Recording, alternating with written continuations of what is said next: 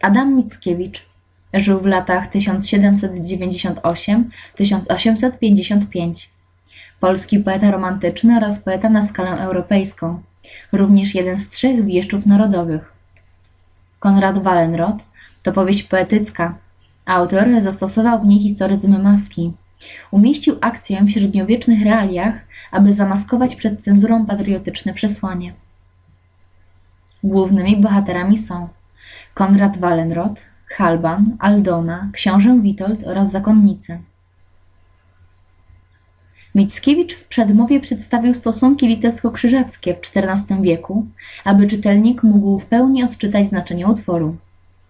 Wstęp do utworu jest poetyckim opisem Niemna, jako symbolicznej granicy dwóch politycznie, kulturowo i obyczajowo odrębnych światów oraz zapowiedzią wojny mającej się rozpocząć między Krzyżakami a Litwinami. Obiór opowiada o wyborze wielkiego mistrza zakonu krzyżackiego. Do Malborka zjeżdżają się komturowie, by wyłonić spośród siebie nowego zwierzchnika. Najbardziej cenionym kandydatem jest Konrad Wallenrod, cudzoziemiec, który podczas walk zyskał sobie ogromną sławę. W tej części utworu zamieszczona jest także krótka charakterystyka bohatera.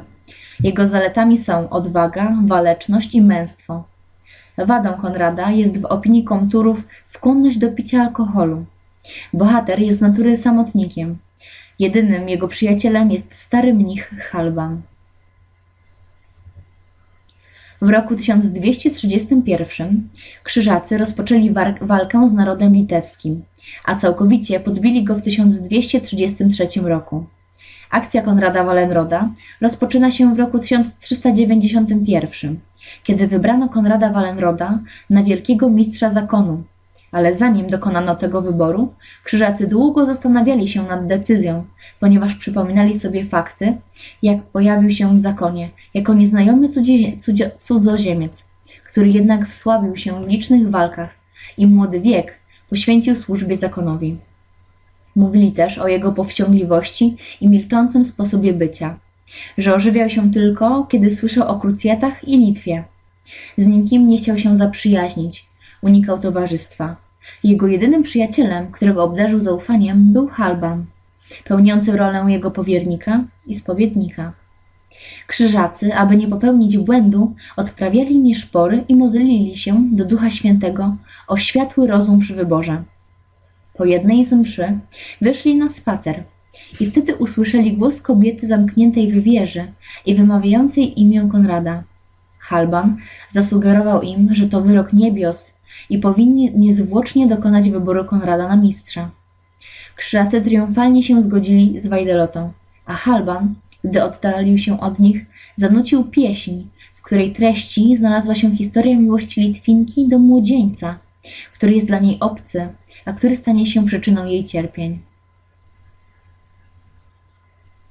Tymczasem Konrad Wallenrod złożył przysięgę na krzyż i miecz, że będzie budował potęgę zakonu. Krzyżacy pokładali w nim wielkie nadzieje. Wierzyli, że szybko pod jego wodzą uporają się z Litwą. Ich nadzieje okazały się płonne, bo upłynął rok, a Konrad Wallenrod nie podejmował żadnych działań wojennych. Nie podobało się to zakonnym braciom, że narzucał im posty i pokuty, karał za najdrobniejsze przewinienia, Zauważyli też, że Konrad jest jakiś dziwny. Wychodzi na spacery nocą i często było widać po gestykulacji prowadzi rozmowy z pustelnicą zamkniętą w wieży. Konrad faktycznie prowadził rozmowy z Aldoną, swoją małżonką, bo to ona była ową pustelnicą. I wracał do zamku jeszcze bardziej przygnębiony. Aldona wyrzucała Konradowi, że zmącił jej spokój i szczęśliwy byt przy dworze ojca.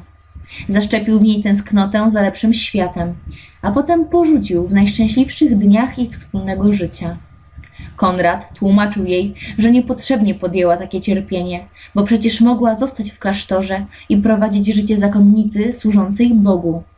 Ale ona wtedy wyjaśniła, że po prostu chciała być blisko niego, bo jest on jedyną miłością jej życia. Więc nie mogła oszukać Stwórcy i poświęcić się służbie jemu, skoro kochała nad życie swego męża. Konrad nie był jednak zadowolony z jej wyjaśnień. bo kiedy mógł już powziąć zamiar zemsty na wrogu, to świadomość obecności Aldony i jej cierpienia wytrącała go z równowagi. Odwlekał walkę, by chociaż jeszcze jeden dzień móc porozmawiać z żoną. Z boleścią w sercu musiał wrócić do zamku, bo musiał z okazji święta patrona rycerzy, świętego Jerzego, przyjąć na uczcie rycerzy krzyżackich, a także księcia Witolta, który zawiązał sojusz z krzyżakami przeciwko Litwie. Walenrod zachęcał wszystkich do dobrej zabawy, do wesołości i śpiewów. Śpiewacy różnej narodowości śpiewali pieśni o pobożności i męstwie Walenroda, ale on słuchał tych pieśni z wyraźnym znudzeniem. Ożywił się nieco, gdy o możliwość pieśni poprosił stary Wajdelota. Niemcy nie chcieli zgodzić się, ale Walenrod przekonał ich, że stare litewskie piosenki mogą być bardzo interesujące. Pieśni Halbana znalazły się informacje z przeszłości Litwy. Podkreślił też pieśniarz znaczenie pieśni ludowej w życiu narodu. Ale nagle zmienił ton, bo uznał, że nie ma potrzeby wskrzeszenia dawnych dziejów, skoro istnieje obecnie człowiek, od którego powinni się uczyć wszyscy Litwini. Przedstawił w swej opowieści losy swoje i Konrada Walenroda. Jako mały chłopiec Konrad został porwany przez krzyżaków. Otrzymał od nich godne życie i wykształcenie. Wkrótce zapoznał się ze swym rodakiem, starszym Halbanem. Ten opowiadał chłopcu o ojczyźnie i Konrad przysiągł za wszelką cenę zemścić się na zakonie. Gdy dorósł, podczas bitwy samowolnie poddał się wraz z Halbanem wojskom litewskim. Wrócił do ojczyzny i pojął za żonę Aldonę. Nie zapomniał jednak o przysiędze zemsty, dlatego postanowił wrócić do zakonu. Aldona z rozpaczy uciekła do klasztoru. Nie mogąc jednak znieść rozłąki z mężem, pojechała w ślad za nim i od tamtej pory żyje we wieży jako pustelnica. Po zakończeniu piosenki Rozległ się szmer na sali. Wszyscy zastanawiali się, kim jest ów wspaniały Alf i jakich wielkich, jakich wielkich czynów dokonał. Konrad nakazał staremu przyjacielowi, by dokończył historię Alfa.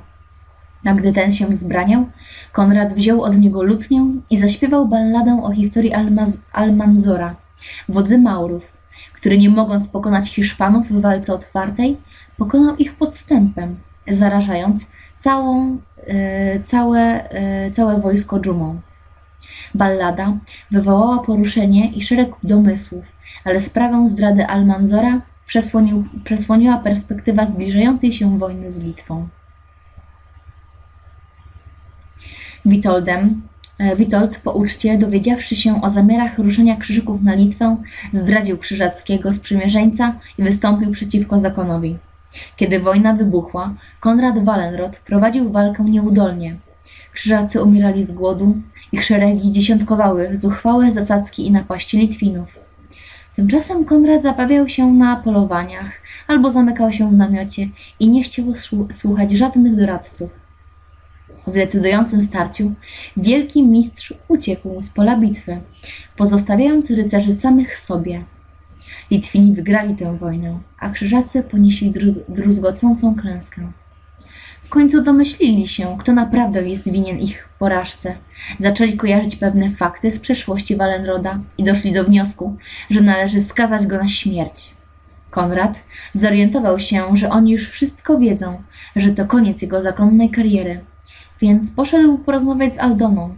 Poinformował ją, że dokonał zaplanowanej zemsty i że krzyżacy przez sto lat nie odbudują swojej potęgi. Błagał Aldonę, by razem uciekli do rodzinnej Litwy, ale Aldona nie zgodziła się. Chciałaby zachwali, zachowali w pamięci swój obraz jako młodych, zakochanych i szczęśliwych. Konrad powiedział Aldonie, że jeśli zauważy, iż w jego pokoju zgaśnie lampa, to będzie oznaczało, że już być może nigdy do niej nie przyjdzie strzelnicy rozmawiał z Halbanem i nagle usłyszał zbliżających się krzyżaków. Sięgnął więc po kielich z trucizną i wypił, po czym podał kielich Halbanowi. Ale Wajdelota nie wypił trucizny, bo chciał przeżyć, by opowiedzieć Litwinom o czynach ich wielkiego rudaka. Konrad, upadając, strącił z okna lampę, która zgasła. W tym samym czasie rozległ się przeraźliwy krzyk z wieży. to Aldonie z rozpaczy po śmierci męża pękło serce.